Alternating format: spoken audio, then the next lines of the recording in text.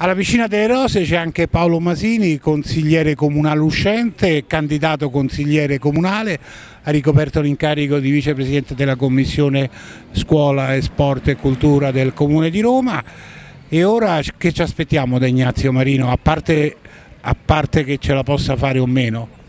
Beh, ci aspettiamo quello che ci siamo detti e che abbiamo condiviso insieme in questi giorni di, scrivendo il programma insieme, di costruire una città finalmente che metta al centro la persona, che metta al centro il benessere della persona, pertanto unendo il sociale allo sport, all'attività sportiva, alla pratica sportiva, facendo diventare i nostri parchi delle palestre all'aperto, facendo diventare i nostri luoghi dei luoghi belli da frequentare e da vivere dove le persone possano stare bene eh, fisicamente, moralmente e anche come dire, spiritualmente. È un impegno che ci stiamo prendendo importante con i cittadini anche riformando la macchina amministrativa e oggi questo incontro serve per suggellare, per siglare questo patto e per andare spediti alla riconquista di Roma.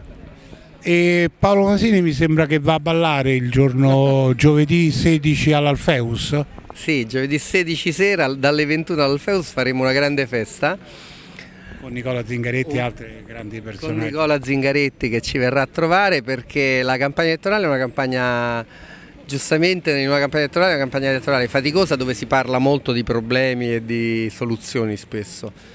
Però abbiamo pensato di fare un pit stop, l'abbiamo chiamato, dieci giorni esatti dal voto, ah, dal voto, ci fermiamo un attimo per fare una serata anche divertente, mi auguro, perché tra l'altro ho scritto insieme a Fabrizio Giannini, un attore, un testo sui cinque anni di Alemanno, divertenti se non fossero drammatici, e poi ci saranno i, dei dieci eh, disegnatori satirici che hanno deciso di sostenere la mia campagna elettorale facendo ogni giorno sul nostro sito una vignetta eh, su, questi, su, queste vicende d'attualità e le, quel giorno le metteremo tutte in fila e poi si ballerà chi, chi ha tempo, voglia e gambe fino a tardi, io credo che alle 11 me ne vado perché comincio a essere stanco. E l'inizio uh, del percorso per arrivare all'assessorato alla qualità della vita?